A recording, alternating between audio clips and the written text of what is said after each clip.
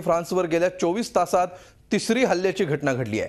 फ्रान्सच्या लिओ शहरामध्ये मशिदीजवळच्या रेस्टॉरंटमध्ये स्फोट झाल्याची घटना घडली आहे. या स्फोटामध्ये कुणीही जखमी तत्पूर्वी फ्रान्सची राजधानी पॅरिसला दहशतवाद्यांनी पुन्हा लक्ष केलं होतं. पॅरिसच्या दक्षिण भागामध्ये पुन्हा दोन संशयितांनी अंदाधुंद गोळीबार केलाय. यामध्ये दोन पोलीस अधिकारी जखमी झालेत. यातल्या एका संशयिताला अटक करण्यात पोलिसांना यश आलं असलं तरी दुसरी पॅरिसच्या मेट्रोमधून पसार झाल्याचं बोललं जात आहे गोळीबार करणारे दोघंही बुलेट प्रूफ जॅकेट घालून आल्याचं पोलिसांनी सांगितलं आहे कालच्या चार्ली हेब्डो या साप्ताहिकावरच्या दहशतवाद्यांच्या हल्ल्यानंतर कमालीची सुरक्षा व्यवस्था असतानाही दोघांनी गोळीबार केल्यामुळं फ्रान्सवरील दहशतवादाचं सावट अजूनही गडद असल्याचं दिसतंय. कालच्या हल्ल्यातील एका संशयितानं पोलिसांसमोर शरणागती पत्करली आहे दोन जण मात्र अजूनही फरार आहेत.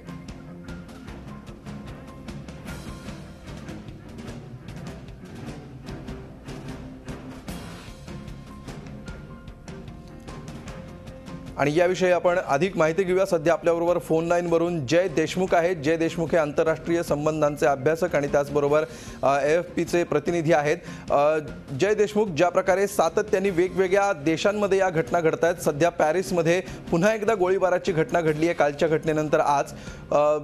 पहिल्यांदा सिडनीमध्ये झालेला हल्ला त्यानंतर पेशावर आणि त्यानंतर आता पॅरिस या सगळ्या हल्ल्यांमध्ये काही समान सूत्र दिसतंय का?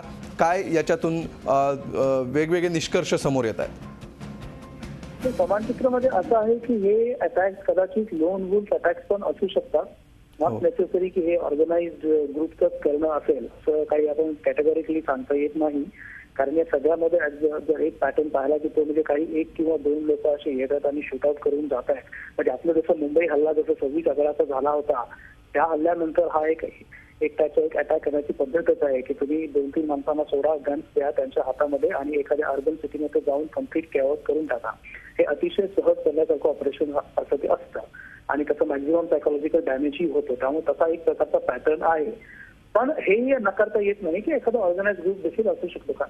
तर आता चार्ली अब्दोचं जर आपण उदाहरण घेतलं खालचं तर that that magazine was on the hit list of al Qaeda for quite long time गेले सहा सात वर्ष चार्ली अब्दो या मॅगझिन अतिशय आउटरेजियस असे प्रॉफिट बहुमतचे असे काही कार्टून्स त्यांनी वारंवार पब्लिश केले होते. त्यामुळे बरेचसे सेंटिमेंट लोकांची दुखावले गेले होते मुस्लिम कम्युनिटीचे जगभरामध्ये.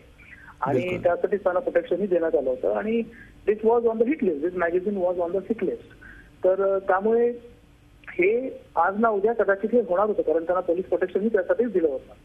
पण तेही त्या मॅगझिनही कधी थांबलं नव्हतं. त्यांचे ते कंटिन्युअस पब्लिशिंग चालू होतं. आणि त्यामुळे काल जे झालं ते त्यामुळे झालं त्यामुळे.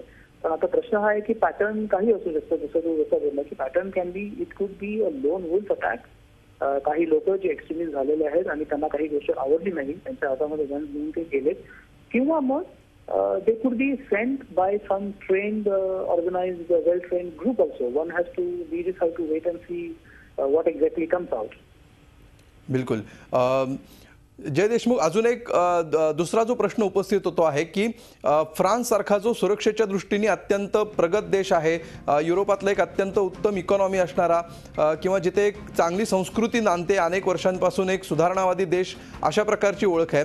अशा देशामध्ये घुसखोरी करणं अशा देशामध्ये आपला प्लॅन सक्सेसफुल करणं आणि त्याची कुठलीही पूर्वसूचना तिथल्या एजन्सीजना न मिळणं हे कशाचं लक्षण आहे असं तुम्हाला वाटतं दहशतवादी संघटना त्यांची स्ट्रॅटेजी बदलते आहे त्यांची ताकद वाढती आहे. नेमकं काय होतंय? फ्रान्स सारख्या देशामध्ये असे हल्ले सक्सेसफुली घडवून आणले जात आहेत. नाही असं असं नाही आहे की फ्रान्स डेव्हलप कंट्री असल्यामुळे त्यांना दे आर नॉट एनपेनेट्रेबल वगैरे असं काही नाहीये कारण असे हल्ले तर फ्रान्समध्ये जास्त कधी पूर्वी झाले नाही त्यामुळे त्यांनाही तसा मास टेररिझमचा त्यांनाही अनुभव असा नाहीये पण हेही आपल्या लक्षात घ्यायला पाहिजे की गेल्या काही चार पाच वर्षामध्ये फ्रान्सची जी स्ट्रॅटेजी वाढ कंप्लीट बदललेली आहे राईट फ्रॉम सरकोजीच्या राष्ट्राध्यक्ष असताना तेव्हापासून आणि आज जे पाचवा ओलांड आहे या दोघांच्या राष्ट्राध्यक्षाच्या रूल खाली फ्रान्सची जी जी जी ग्लोबल पॉलिसी कंप्लीट चेंज झालेलं आहे. They are very much active in against countering Islamic militancy globally म्हणजे हो. मालीमध्ये त्यांनी हल्ला केला फ्रान्सने लीड केलं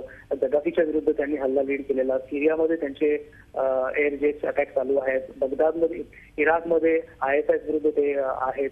ह्या सगळ्यामध्ये त्यांनी बराचसा पुढाकार घेऊन अलॉंग विथ अमेरिका युके आणि बाकी काही देशांच्या बरोबर फ्रान्स देखील is at the forefront of countering growing Islamic militancy त्यामुळे नक्कीच बरेचसे ग्रुप इस्लामिक ग्रुप्स फ्रान्सला फ्रान्समुळे दुखावलेले आहेत. दुसरी गोष्ट एक महत्वाची आपल्याला लक्षात घ्यायला पाहिजे की फ्रान्समध्ये युरोपचं सगळ्यात जास्त मुस्लिम पॉप्युलेशन आहे.